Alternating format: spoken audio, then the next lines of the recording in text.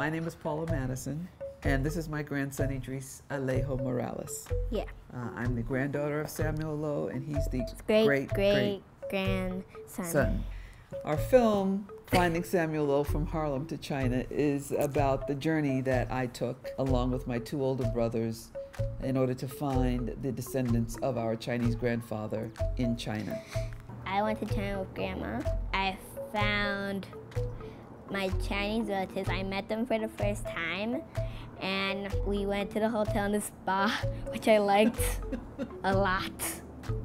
We hope that you will enjoy our film. It is the story of a family that was separated uh, for about 100 years. Please come and see it. It's, it's a lovely movie. I'm in it, of course, and my grandma.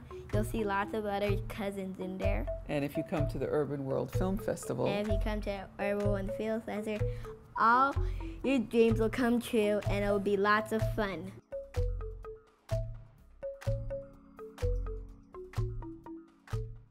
Can I ride my bike now?